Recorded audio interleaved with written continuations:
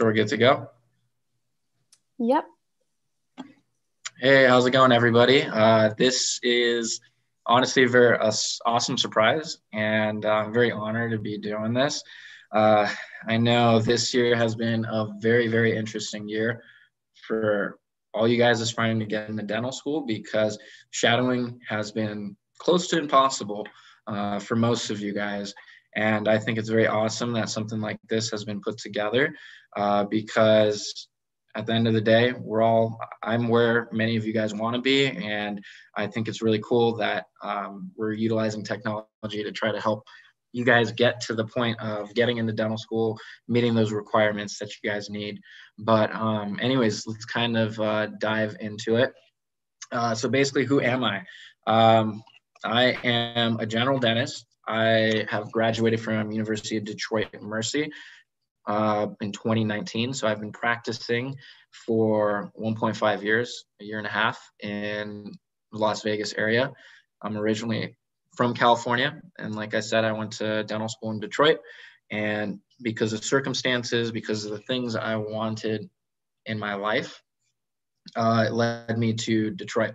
I mean, sorry, to Las Vegas. So the office I work in, it's a pretty big office. I actually work for a corporate office uh, called Pacific Dental Services. There are about 800 of these offices all throughout the country. And I work quite honestly in a top 10 office in the entire country for this company and probably a top 30 office in the entire country when it comes to both corporate from all the different companies and private practice combined. So we're a really, really big practice uh, producing a couple million dollars a year. We have five doctors, uh, four hygienists, over 10 assistants. And uh, I guess I was asked, what is my favorite procedure to do? Implant placement. I think it is awesome, easy to do, very quick to do. And uh, at the end of the day, you can really recreate someone's smile. And at the same time, it's a very high value procedure. Uh, so you can make a lot of money off of doing that as well. Uh, photo on the right over here. This was actually from Halloween this past year. Our office manager in the back, myself as Woody, and uh, our hygienist is Barbie. We did Toy Story. So, my journey to becoming a general dentist what happened, what did I do? Uh, so I went to undergrad at UCSD, uh, double major. So my pathway, little unique compared to most people because of the double major. Uh, so my GPA was a little bit lower uh, than most. I had a 3.2 and my science was about 3.5. Um, but at the same time, I took the DAT, and at this time, I don't know uh, for you guys what is considered a good DAT score anymore, but I know 21 at the time when I took it was very hard to get.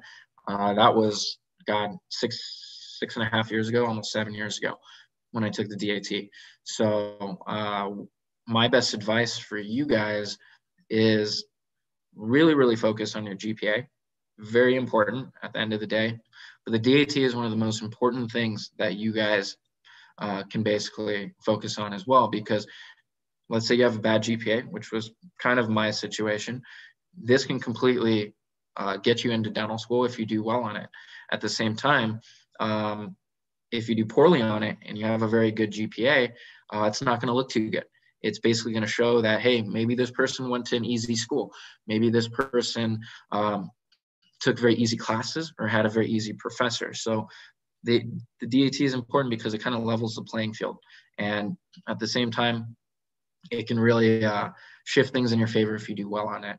Um, I actually wanted to give a plug for a company uh, that I actually happen to go to dental school with uh, the creators of it. Um, I've seen them putting the whole thing together actually during the three, four years that they were putting it together at school. Uh, I believe it's actually the best thing that's out there right now. It's the most popular in Canada, and they just moved it over about a year and a half ago to the United States. So definitely check it out. Uh, the DAT booster. Uh, at the same time, they have a very, very good uh, PAT uh, training type of deal, if that's what you want to call it. Um, coupon code right there. Um, I had to do it. Another really important thing volunteering. What do you do to separate yourself? Because on paper, that's the DAT and that's the GPA. Volunteering is something that really makes you shine and look different than everyone else because most people are going to be having the same type of things on paper as you. So what I did was um, I went to school at uh, UCSD where we run free dental clinics. So essentially, me as a student, I was in charge of running it. I was uh, basically in charge of scheduling patients, uh, training assistants. The only thing I didn't do was a dentistry. We took x-rays and all that type of stuff. So it was really cool experience. So see if you guys can get into something like that because at the end of the day, uh, most students are not doing anything like that. But at the same time, when it comes to volunteering, don't just do volunteering through dentistry. Do unique things. Uh, we had this department at school. I forget exactly what it was called, but it was to assess to assist kids who you were like a note taker for kids who had disabilities and couldn't come to class. Uh, I mean, things were very different then because we didn't really have like podcasting and Zoom lectures and things like that. Um, but that was a unique way to provide notes and to volunteer uh, for students who couldn't really go to class. And so try to find those types of things that you can do in terms of volunteering uh, that are very unique and sets you apart because it shows that, hey, look, this person's not just all about dentistry. They're truly a good human being who really just likes to help people because at the end of the day, that's part of the reason why we go into dentistry. At the same time, after I was done with school, I worked for a periodontist. Reason being is different experience. Um, you get to understand how a dental office actually works, and it looks really good on your application. Uh, at the same time, I had jobs during uh, during undergrad. Highly, highly suggest all of you guys to get some type of a job during dental uh, during undergrad because it will show that you're a well balanced individual but at the same time being a well-balanced individual who can handle their grades their gpa their dat score and do everything else the, in their life looks very very good and at the same time it shows that you can actually uh, be a responsible human being because uh, the working world is a lot different than the school world and i don't really think most people realize that but when you apply to school um, those who are looking at your application look at those types of things very favorably if um, if you're actually on top of your grades. And uh, my story in terms of applications, I applied to 22 schools. I did 18 secondaries, and then I was invited for seven interviews. Ultimately, uh, only ended up going to three interviews, and I decided to choose Detroit Mercy. And by all means, guys, feel free to ask any questions that you guys have shoot them my way. I'd be more than happy to answer them during this entire thing. So, what is general dentistry? I'm sure you guys already know. Um, you've heard this answer a million times. So, here's a million and one. Um, basically, it's the part of the profession that lets you practice any type of dentistry, aside from those that um, unique oral surgery type of things where you're essentially doing jaw reconstruction surgery, cancer surgeries, things like that. But other than that, you can do anything you want to do because there are continuing education courses for that that you can train yourself. And as long as you are competent and confident to do whatever it is that you're doing, by all means, you can do it. So that means implants, root canals, extractions, any type of tissue grafting, um, gum grafting, things like that bone grafting. Uh, also, at the same time, if you want to be somebody who opens up multiple offices, to be quite honest, you can't do that anymore uh, in any specialty, only general dentistry, uh, because you are essentially home base, if that makes sense. You have all the other specialties working for you in your office. All the other specialties are kind of starting to shift away from having their own private practices because that's just the nature of how medicine is and how dentistry is. And anybody who tells you um, that's not the case, they're full. Um, but easiest to be to be an owner is through general dentistry, and that's essentially what my goal is.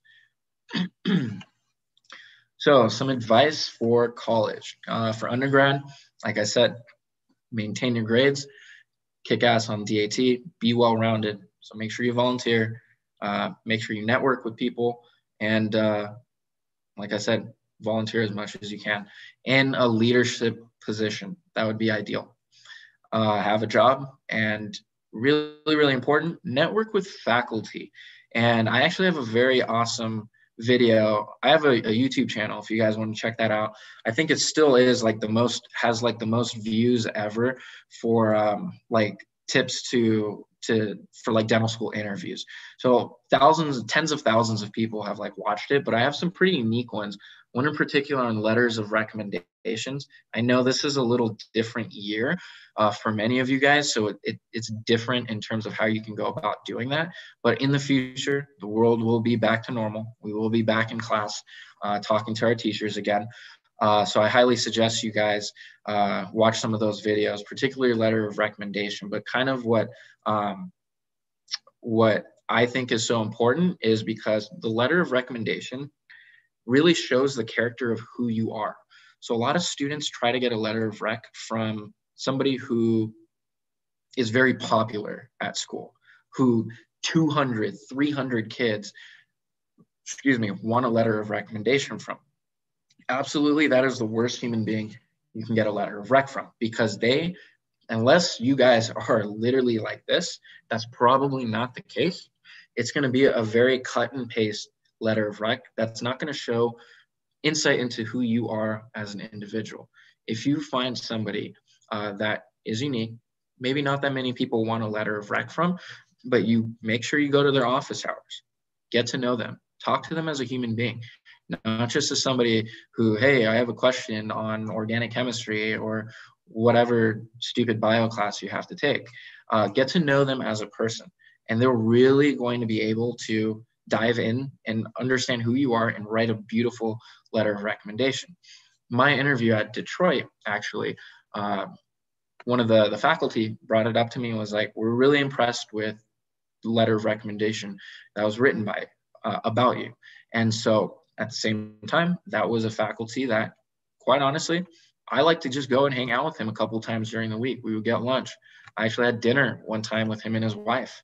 Um, so do those types of things because they really do separate you from from your peers. so what is a typical day in general dentistry? Um, so when I say broken up in threes, essentially what it means is it's broken up into a treatment column. So I'm doing root canals, implants, crowns, fillings, whatever. New patients, which is somebody brand new that comes into the office, take a full set of x rays, or we focus on um, a chief complaint if they're in pain. And then we try to get them to start treatment that day. Uh, so that's the second column. The third column are six months, six month exams. Um, pretty much know what that is. Uh, and then ideally, like to see a little bit between nine to 12 patients is a good day. Uh, sometimes more, sometimes less, kind of just depends on, on the day itself. So what kind of complaints do patients present with? Um, so when I say my population is very diverse, uh, it basically means I see a little bit of everything. I have rich YouTube stars coming in uh, who make millions of dollars a year, rich business people who make millions of dollars a year as well, middle class working family, kids from the poorest to the richest, and everything else in between, and patients who, quite honestly, can't really afford anything. Um, and so, with that being the case, the wealthier the individuals are, the, the healthier they tend to be. So, that tends to be a lot of cosmetic cases, teeth whitening, um, just regular hygiene care, things like that, to people who come in with pain, who need root canals or who need extractions and then an implant, or people who need a full set of dentures. So we replace missing teeth. Lots of times uh, we have people coming in with weird things going on in their mouth where they have sores and bumps from herpes to oral cancer, unfortunately, uh, and everything else in between. And it's kind of our duty uh, to look inside the mouth and uh, assess what is it that's going on. But the amazing thing is, if you don't know how to do something, if you're not too certain as to what's going on, you can always refer. And there's a specialty for everything. One of the big ones um, to really, really protect yourself is oral pathology. If uh, you see something that is a lesion that you don't know what it is, put a watch on it. Say, look, we'll bring you back in two weeks, a month, or whatever, see how that's going on. But at the same time, I want to refer you to our oral pathologist so they can take a look. At that point, it's up to them if they want to go and do that, but at least you protect yourself. So, same thing. What kind of procedures do we do? Um, a little bit of everything. You can honestly be taking out wisdom teeth, do implants, do root canals. At the end of the day, my best advice is to find your niche. Uh, find whatever intrigues you, get really good at it, and have at least one of those things up your sleeve that you can stand toe to toe with anyone else and you know I'm going to be the best at doing root canals. I'm going to be the best at doing implants because that's going to separate you from your peers, but it's also going to separate the practice that you work at uh, from your competitors because at the end of the day, it's all competition. So new technology in general dentistry, excuse me, is uh, pretty rapidly changing. I'd say dentistry uh, changes a lot more quickly than medicine in terms of uh, things, how, how quickly things get implemented. So cone beam technology, CBCTs, those are unbelievable. I mean, we know what those are, uh, essentially CAT scans, but now we're able to do that in the mouth. And so that's pretty cool because it allows us to create um, surgical guides and understand the blood vessels, uh, the nerves, how they kind of go through an individual's jaw so we can place implants. Same time, we can see a lot of infections a lot more clearly that you may miss on an x-ray. And it's not because you're blind or something, it's just CBCT allows us to see right through anything. It's amazing uh, CAD CAM technology. I don't know if you guys know what that is, but that's essentially when you can uh, scan, take photos of somebody's mouth, and you can make a same day crown. The technology behind that is pretty old. It's been around since the early 90s, but it is changing so rapidly uh, that the things we can do, we can uh, basically take an image of somebody's mouth and we can make a denture that day. Not in my office, but that's something that we can do uh, if that's what your office really kind of specializes in doing. And then uh, I forgot to add on to this, but uh, my office is actually one of the pioneers of testing uh, oral DNA or saliva testing, which is really cool because it gives us an understanding of uh, the antibodies you have, the bacteria you have in your saliva. And at the end of the day, we know things are, are not what we were told 20 years ago. Everybody's body is very, very unique. Same thing, like COVID. Some people get sick, other people have absolutely no symptoms. And that's the same exact thing within the mouth. A lot of people have, excuse me, are more prone to periodontal disease, gum disease, um, or cavities as opposed to other people. And it's all because of the breakdown of what is in your saliva. A lot of it is actually contributed by diet. And uh, that's something that is pretty awesome because I think in the next uh, five years or so, there's gonna be a big, big push with diet in dentistry because uh, at the end of the day, just like in medicine, we're finding out that that really dictates everything. And uh, diseases are entirely preventable. Sicknesses are almost entirely preventable if we just stay on top of our diet and we feed ourselves the way that we need to be fed. And dentistry is no different. Uh, so some important terms in general dentistry, uh, crowns, fillings, root canals, oral pathology, implants, and refer. That's a really important one that I put over there because like I said, you can do anything you want in general dentistry. Uh, but at the end of the day, if uh, you don't know something, if you're unsure, refer. Let the patient know that I don't feel comfortable doing this, or I don't know what's going on over here they will respect you a lot more as opposed to you thinking you know everything and fucking everything up. It happens a lot. All right, so now we're going into the cases. Let's see how we are with time actually. Wow, pretty quick. So good. yeah, uh, shoot questions my way if you guys have that. But uh, case number one. So um, I'm just going to throw this out for you guys. What do you guys see? I can't really see if you guys uh, are chatting or anything like that, but this is actually a friend of mine. Big thing that you notice right away this tooth right over here, right? And then this darkness right here. Essentially, that's just a giant infection um, for her. Unfortunately, we were not able to save this tooth or even the tooth up here. Can't quite see the infection up there from this image, uh, but both these two teeth had to be extracted. And now it comes down to what is it that we do um, after we extract the teeth.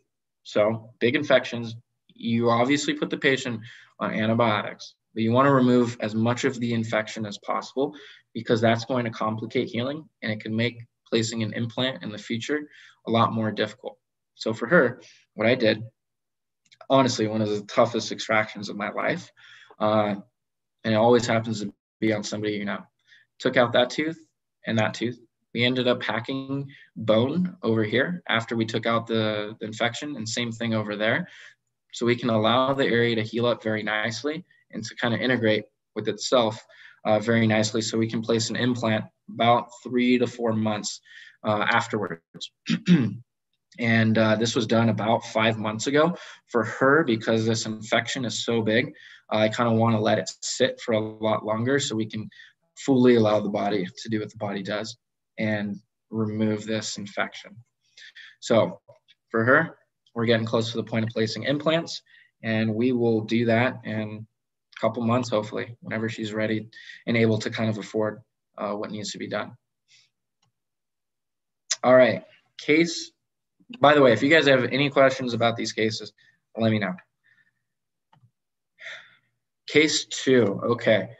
This is a very unique one. Um, I don't know if you guys know what you're looking at, but essentially this is a panoradiograph. So one of the ones that wraps around a patient's head. Basically, this guy has no teeth. He's had no teeth. He's 55. He's had no teeth for, I want to say, close to 15, 20 years. And so with that, when you have no teeth, you have a lot of bone loss that starts to happen. And that's exactly the case on the bottom.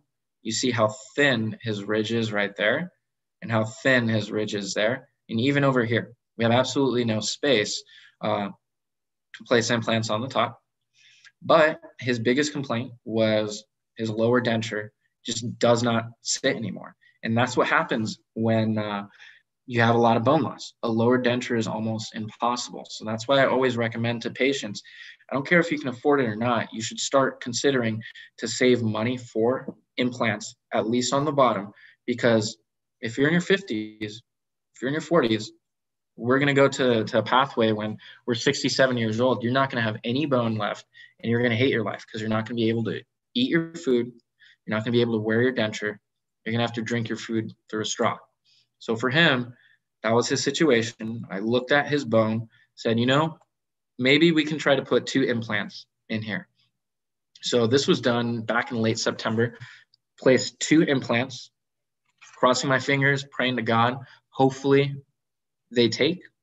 And about uh, three months from from the initial date of placement, three to four months, I'm going to go ahead. I'm going to check those implants, see if uh, they're integrated the way that I like them to be. If they are, he got lucky uh, because this is a case right here where he does not have a lot of bone. And I'm really kind of crossing my fingers to hope that it does take uh, to see if we can make some magic happen for the patient. And if that's the case, quality of life is going to be vastly improved because we'll at least have a denture that snaps on on the bottom in one place. Ideally, you would like to have implants placed here, somewhere along here, kind of something like a table. You can get away with two, Ideally, you'd like them placed here or over here, but sometimes that's all you can really work with. And uh, we'll see what happens. all right. And so, like I said, you literally see everything coming into a dental office. So, what happened with this lady? Um, this was, I want to say, early October, late September as well. Uh, she was walking her dog one day. Um, dog kind of dragged her. She tripped. She fell. She hit her teeth on her uh, on the curb actually, and just completely bent her teeth inwards. And uh, she didn't know what the hell to do. Called her office. Came in. I've never done anything like this before. Uh, our owner doctor was not there that day, and two of the other doctors there were also fairly young. We had a general idea of what needed to be done, um, but luckily, uh, we were right. We ended up asking our orthodontist who happened to be working that day, and he's like, "Oh, easy case. It looks like uh, her bone isn't broken; it's just bruised, so very, very malleable." And so what we did was we ended up having her bite on a popsicle stick for about five minutes or so to get her bite back to normal. And then we splintered her teeth for about a month and a half. And uh, she's doing good now. At that time, uh, I told her, look, we're the first people that you're seeing, but I want you to go to the doctor as well uh, because there's a lot of damage that was done. I want to see, did you have a concussion? Do you have a concussion? did you break anything? Because I can't quite see on the x-rays that I have. And so she went that day afterwards, and it turns out she ended up actually breaking her nose. Um, sucked, but now she's doing a lot better. Um, a lot of scar tissue in certain areas. So my boss actually does Botox as well, which is something general dentists can do. Uh, he does Botox. So what we're going to do to kind of um, because this lip is a little bit more puffy than the left side of her lip, just naturally because of how the scar tissue is. And so what he's doing is just kind of adding a little bit of Botox lip filler to kind of plump up those lips. Uh, so it matches a little bit more and it doesn't look awkward. And um, so she'll be doing that uh, fairly shortly. But that is it for the cases. All right, advice to our future dentists. This actually, excuse me, this is actually my favorite quote. Men are not prisoners of fate, but rather prisoners of their own minds. It's an FDR quote. Um, some things are really, really kind of take into consideration. Uh, work hard and play hard. You really want to balance life out. Life is not all about work. Life is not all about play. And if you teeter too much on one versus the other, uh, life is going to be very boring and very frustrating for you because uh, you're never going to enjoy life. You're never going to have fun if you work too hard. You're never going to enjoy the fruits of your labor. But if you play too hard, well, come time when you're old, uh, you're not going to be able to retire and relax and take it easy when your body hurts and you have all these sores and bruises from working as a dentist. Um, same thing network as much as you can uh, because at the end of the day it's a very very small profession. You never know who knows somebody that can hook you up with a job. Get you an invite to a dental school interview. Uh, people will go above and beyond if you know them and if you build great relationships with them or will put you excuse me into contact with others who can possibly do that. And uh, never stop learning obviously in the profession that you're in, but continue to read and read things that are not dentistry because the day your formal education is over, meaning undergrad, or if you go into a graduate program, whether it's dentistry, pharmacy, or business, whatever, we are never really forced to learn anything ever again. And that's sad because we are meant to be lifelong learners. And like I said, don't just focus on the things that are in your profession. Focus on unique things um, like finance, business, taxes, things like that, that you absolutely have to know as an individual, because these are things we don't learn in school. And there will come a time when you wish you knew that. And you don't want that time to be when you're 45, when you're 50, when you really are getting close to retirement. You want to be prepared early on and have an understanding of when I'm working, how do I hit the ground running so I can save for my future? Because lo and behold, you never know what happens. You might get cancer. You might break something that allows you not to work anymore. You may be forced to retire early for some reason. And if, if you take the, the right steps as soon as you can, it's not going to be as burdensome if those things do happen. All right, guys. So this is, uh, excuse me, my Instagram right over here at Pat the Dentist. Make sure to give me a follow. Uh, and like I said, I have a YouTube channel that really dives into a lot of things that I think are going to be interesting uh, to help you guys uh, with your applications, how to handle those dental school interviews. And uh, by all means, feel free to shoot me an email, uh, DM on Instagram. I'd be more than happy to answer any type of questions uh, that you guys have. Uh, and right now, if you guys have any questions, I would love to answer them, but I don't know how to see them. Yeah. Thank you, Dr. Anghel. I'll read out some questions to you that we have. So awesome. the first question is about um, secondaries, like the secondary applications. Some people weren't unsure of what that means. What okay, so you have an initial application. Every school has that, right? It's on AADSAS, uh, and you just send that out on a mass to whatever schools that you want to apply to. I think only the, at least when I was doing it, I think only the Texas schools have like their very own unique application uh, because Texas just does it better, honestly. Um, and so, but secondaries, almost every school has a secondary. And secondaries themselves typically are just you paying a fee to the school, school because schools are money hungry. That's what they are. You guys will see that when you go to school. It's unfortunate. Um, it's typically a fee, or you have to write uh, some type of a answer to a unique question they give you or an essay to something you know uh, it can be anything like that uh, some schools have you require you to send a photo in with an uh, with uh, an application fee but i think every single school has some sort of an application fee so that's why i'm saying it gets pretty expensive because like me i applied to 22 schools 18 secondaries um, and 22 schools. I forget exactly what that ended up being, but then 18 secondaries when they average between like 50 to 100 dollars uh, per application, that adds up as well. That's easily over another thousand dollars that you may not have even budgeted for. And so I think you guys should, because you only want to apply to dental schools once.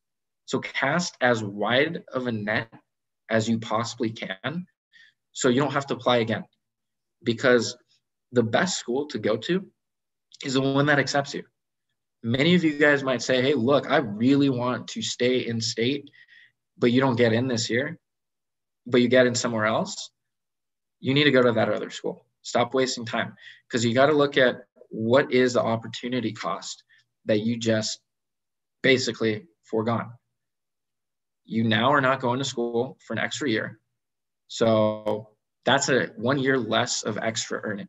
So essentially, you can consider that to be uh, between a hundred to one hundred fifty thousand dollars as at, at the end of the day that goes into your bank account. So one less year. At the same time, dental school tuition is raising every single year.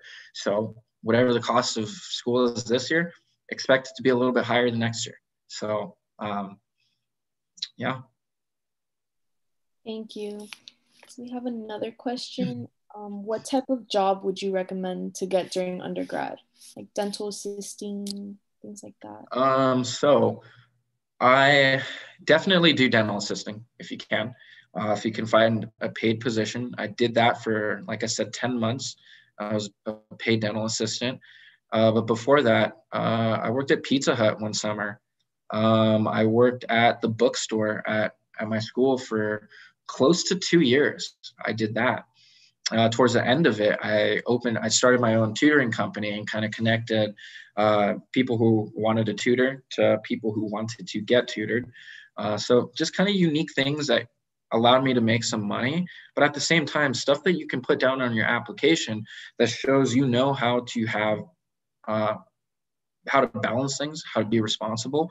Uh, so I would say something that is tends to have a more flexible schedule so you can kind of work around your class schedule i know typically if you work on campus they tend to do that for you. They tend to kind of work around your final schedule and all your classes. And so lots of times at the same time, um, working for a dental office, they tend to understand, look, so-and-so is trying to get into dental school. I have to kind of work around their, their work schedule, uh, their school schedule. So uh, something like that. But anything looks good on your application, but a dental job looks the best. What is your advice for people who are scared of going to dental school because of how expensive it is? I don't know. Don't do it then. I mean, uh, you're going into a profession where you're making a lot of money, right? But uh, if you go into anything with the fear of how expensive the schooling is going to be, um, that is probably not the right mentality you should be having because at the end of the day, yes, dental school is very, very expensive and it's only getting more expensive. But any profession you go into, any schooling for that profession is an investment in itself. So you have to understand there are two different types of, of, of loans that you can get. One that I consider essentially an investment, which can be a house, uh, your education, and then there are just trash investments, trash loans that you get uh, for stuff that you shouldn't be buying, a car that you probably shouldn't have at this point in time, or things that like a brand new TV or whatever, credit card debt, things like that.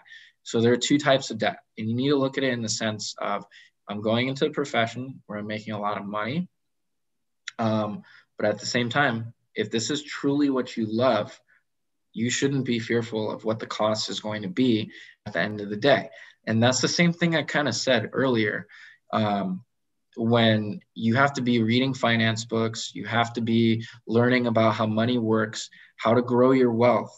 Very, very important because if you have an understanding, and this isn't just for dentistry, this is for everyone on this planet. Read Rich Dad Poor Dad, first of all. Amazing book. I highly recommend every individual to read. I think it's the best book that's been ever written. But first of all, it needs to be something that everybody looks into not just high net worth individuals or people who are going into a profession that makes a lot of money, but especially for those individuals, because now you have a massive amount of debt, but you're making a ton of money at the same time. What do you do with that money to pay off that debt? At the same time, how do you grow that money? So 10 years down the road, you look back and you're like, wow, I have two, $3 million that is just kind of sitting here in my investment accounts or in my savings well not savings but investment accounts things like that. Uh, so i wouldn't worry about it. I think you just need to be prepared uh, for what's coming. And if you're prepared you're not going to be afraid. Sounds good there's somebody in the chat who is a current undergrad student and works part-time as a dental assistant do you think that their work experience could count towards shadowing um, yes and no. I remember actually this being a thing for a couple schools where you could actually double dip. Um, I don't know if every school allows that to happen. Maybe now it does because of the weird world we're living in, but you definitely have to ask the school and definitely reach out to. Um, uh, sorry, I'm so glad this question actually came up. Uh, reach out to schools to their administrations department ask them those types of questions because they'll be more than happy. That is their goal. That is their job title. These people get like fifty thousand dollars a year to ask to answer these types of questions for you guys. So utilize it, but at the same time, set up uh, tours of dental schools. Let them know, hey, look, can I come and take a tour of the school? I want to see. Um, I'm considering the school. I think it's awesome. Uh, some BS like that. Set up a tour and go there. Network with the students there. Network with the faculty there if you can, and make your yourself a presence there. That person who continuously just kind of shows up one, two, three times a year or something like that. They kind of remember you. Trust me. Uh, there's that pre-dental student that's always here, and faculty like that because it means you show an interest in the program and what they're kind of all about. Thank you. What happens when someone doesn't have enough bone for dentures or implants? Um, well, like in that guy's situation, there is obviously a way to go about it, uh, but it is fifty to eighty thousand dollars worth of surgery, where you have to take bone from like his hip or something like that, and then you can actually put it in on the lower mandible, um, or you can do implants that are honestly two three inches long that kind of cross like that into somebody's zygomatic process, um, which is very possible to do, and a lot of people do it. But like I said, that averages between fifty to like a hundred thousand dollars sometimes. Uh, and so most people can't afford that type of stuff. Um, so yes, you can do it, but if not, uh, you really advise the patients uh, whenever they get an extraction, I let them know we want to go ahead and we want to place bone graft material in that site so we can allow the area to heal up nicely so we have enough bone to place an implant in the future. And patients say, well, what, why do I want an implant? I don't, I don't need an implant or something like that. I'm like, well, look, it's not so much just about replacing that tooth. It's about maintaining harmony in the rest of the mouth. You have a certain bite force when you have, when you bite down. And that gets distributed over however many teeth you have in the mouth 28 teeth, let's say that, right? Now you are missing a tooth. That bite force doesn't really change at all. But now that force gets distributed on a lesser number of teeth. So, basic physics, those teeth are taking a lot more Brent. So, it accelerates their wear and tear. And especially if you have uh, fillings, crowns, or any other work. And I always tell my patients look, you spent thousands of dollars on all this other stuff. It will break down a lot faster. And we want to go ahead and we want to prevent that. And we want to protect the investment that you made so many years ago. And patients, typically at that point, I don't really have patients say, oh, okay, like I don't want this anymore. They understand the necessity.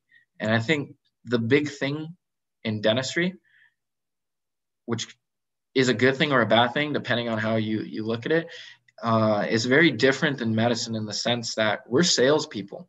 We are, whether you want to believe it or not, you're a salesperson. You have to convince somebody uh, to basically accept treatment for something that they may not necessarily know that they need, especially if they're not feeling pain. When they're feeling pain, they're like, all right, sure, let's do it. I, I trust everything you're saying because they're in pain. But when they're not in pain, you really have to be able to explain in layman's terms to somebody why it is that they need a root canal, even though it's not hurting them why is it that they need an implant or an extraction or something like that right and that's what i like to kind of say is, is dentistry is kind of selling the invisible at a certain point in time but if you can create these metaphors for patients and you're genuinely concerned about their their concerns then uh, patients are going to love you and they're going to move forward with treatment you seem to really enjoy implants. Did you ever consider a perio residency? Hell no. Honestly, perio is dead. That is my opinion. I don't think it's going to be around. I mean, it's going to be around, but it is just narrowing so much because in the past, periodontists are all about supporting your bone, which is great, awesome, cool. I'm all for it.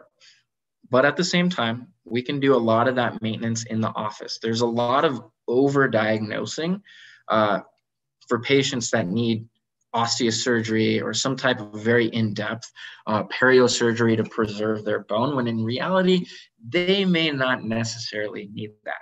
So that is kind of starting to go away. Implants as well. The most dentists that i know that are quote unquote implantologists are not periodontists.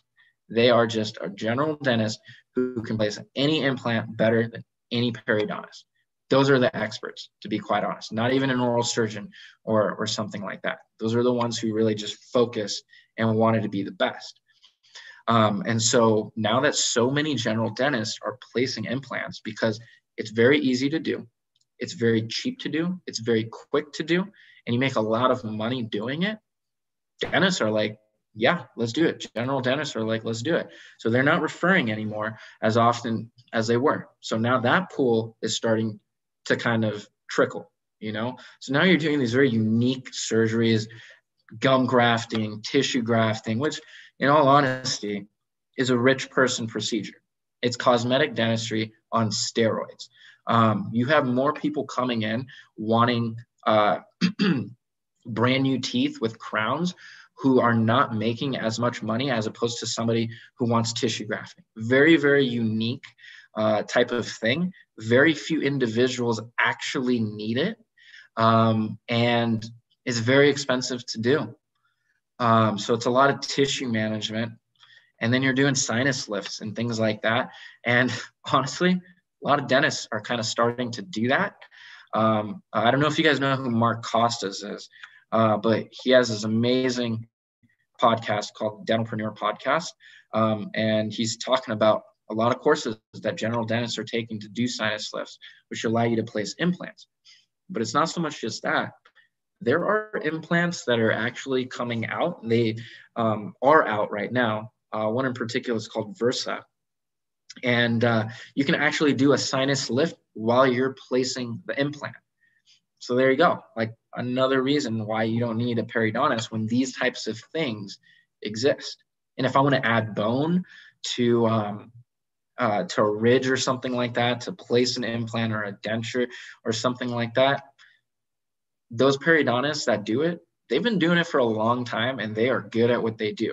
So they've established themselves 15, 10, 20 years ago where everybody's referring to them. But as a new periodontist, I don't know. I don't really consider people to um, to go into that profession. Do it if you want to do it, but I think there are better specialties that will be around a lot longer, um, and they're kind of protected because nobody wants to do root canals, right? Like a lot of dentists do love doing them, but vast majority of dentists are not like stealing away patients from from endodontists. And oral surgeons same thing like um, and pediatric dentists. A lot of people they don't want to see kids. So those are kind of protected but perio eh i don't know i mean it's up to you but i don't advise it how do you think covid will permanently change dentistry um, i think I think we're going to go back to normal very, very soon. I think a lot of places are normal. Uh, it's just, let's be real, the virus is not as bad as we are told it is. Uh, the data is out there. Whether you want to believe it or not, you don't have to, but the data shows it. Uh, it's a lot of misinformation at the same time all over the news. Uh, and you guys got to be very understanding of that, that um, how the news cycles run is based off of fear mongering you can look into how uh, six, 60 minutes back in like the 70s and 60s and 70s kind of started this whole sensationalized and dramatized uh, news cycles because people are more willing to listen to news when the stories are ridiculous right um, and so we as dentists believe less than 1% of, of dentists have tested positive for covid um, and so we are the lowest transmission rate, I guess, if, if you want to say, of COVID in the entire country of any profession. Uh, we've always been the lowest when it comes to any type of virus, any type of bacteria. Uh, and the thing is, we didn't really have to change protocols at all, other than you wear now N95 masks, but we didn't have to change protocols in terms of how we break down our rooms, how we wipe everything down and clean things, because if we did, that means we were not doing a good job to begin with. So I think the profession's been very good in that regard. But patients, quite honestly, are very fed up as well. They're tired of COVID. Uh, a lot of them don't don't care for it anymore, and they're like, "Look, I want to come in. I want to get my cleaning. I my teeth hurt. I want to get this done. I need implants. I need dentures." Uh, so I think patients are a very big driving force. Uh, the ADA actually, I think it was two weeks ago, two and a half weeks ago, released a study that basically kind of broke down uh, dental offices and COVID and patient experiences. And now uh, they said, what is the biggest thing, the, the biggest concern of, of patients' minds? Uh, is it still COVID? Is it the virus itself? I think 12% said yes, but like 80% of the population said the economy is the biggest thing that's on their mind. So you can see a lot of people are over it. And now with the vaccine coming out, whether you believe people should take it or not, that's that's aside from the point. But um, with the vaccine, a lot of people are now being put at ease. I mean, the Trump administration said about 20 million uh, doses will be uh, basically distributed this December. And now it's kind of looking like somewhere close to 40 million doses. And it's going to be put to high risk individuals in certain areas, uh, essentially meaning healthcare workers. And so with the rollout of the vaccine, um, people are going to just go back to normal like it never happened. And uh, I think these next couple couple months uh, could be a make or break type of thing. But once this, the vaccines are out and people really kind of chill the hell out a bit, I think we're going to be hitting our stride and uh, we could have a very good couple years in the future or very bad couple years in the future. Um, we'll see to be determined with policies. Yep, I agree. Um, how how do you recommend getting in touch with professors now during this time where everything's online? How can we make our face Send them an email. Honestly, just send them an email, or see if they do something like um I don't know, like a Zoom office hours or Zoom dinner and learn or something like that and ask them hey would you be willing i think this is a great idea would you be willing to uh, have like a dinner and a Zoom dinner and learn with me and like nine other people. And we just kind of talk about something in the class and we talk about, um, I don't know, random stuff that's going on in our lives. And we can just do it for 45 minutes or an hour or something like that. I think that's unique. And then once the world kind of starts opening back up, uh, you, you'll see you'll be able to kind of go back to some of those those old things. But I think unique things like that uh, really can kind of separate you guys. What are your thoughts on pediatric dentistry? Um, love or hate. Like you really got to be all about children if you want to go into that. Very, very lucrative profession. Make a ton of money doing it, um, but you can't be half-ass about it. Uh, I enjoy seeing kids from time to time. Uh, they're refreshing because they're little clowns. They say funny things, and you can have a stressful day, and just a child walks in sometimes and they do something ridiculously funny, uh, and it just kind of lightens up your day. I enjoy that, but I don't want that to be the bulk of my day because lots of times you deal with the very, very frustrating and annoying kids because uh, that's who you refer to the pediatric dentist is that kid who can't sit still, that kid who needs to be sedated or whatever. Um, those are the ones that get referred. So you really, really got to enjoy that. But at the same time, um, if you're considering specialties when you're in dental school, keep all doors open. And what I mean by that is network and maintain good grades. Because if you maintain good grades, you can apply to any specialty that you want. You'll have a better understanding. I hate it. I absolutely hate it when people have are not in dental school. They're pre-dental students and they're like, I'm going to be an oral surgeon. I'm going to be this. I'm going to be that. I'm like, you know what? No, you're not, because the odds are you're probably going to switch your your your mind when you're in school because now you're actually exposed to what that unique specialty is. And I know so many people who came into school with that exact same mentality, and it just completely flipped when they realized, look, I don't want to do this. I don't want to study this hard to, to get those grades. Um, and, and so you kind of have to you kind of just got to be open to all things. Don't close the doors unless you're 100% certain you just want to be a GP. And uh, and yeah. What should a dental student focus on learning during sim clinic? Alternatively, what aspects of sim clinic should a student not spend so much time on? Oh man, sim lab. Uh, understand that that's not real dentistry and um, you're going to have a lot of people who do really, really well in sim lab, but they absolutely suck as dentists. Um, so don't put too much weight on it. Obviously, it's very important in terms of grades and all that stuff, but don't put too much weight on it in the sense that because I'm good at this, I'm going to be a good dentist. That's not the case. Really understand the basics and the principles of whatever it is that you're doing in sim clinic so you can apply those things to treating actual patients i think that is the most important thing when it comes to sim clinic understand the basics, understand uh, the dimensions of every little thing that you're doing so you can apply that. Because in the mouth, everything is 100% different. You will probably never or very rarely do an ideal prep or whatever they want you to do in sim clinic because decay is very very different in the mouth so uh, it's just good to have an understanding and at the same time network with the faculty there shoot the shit with them I'm telling you most of them are old have very interesting lives that they've lived and uh, have very unique things that they can talk to you about and a lot of hilarious stories. And you want to get to know them, befriend them because they're going to make your life that much easier in school.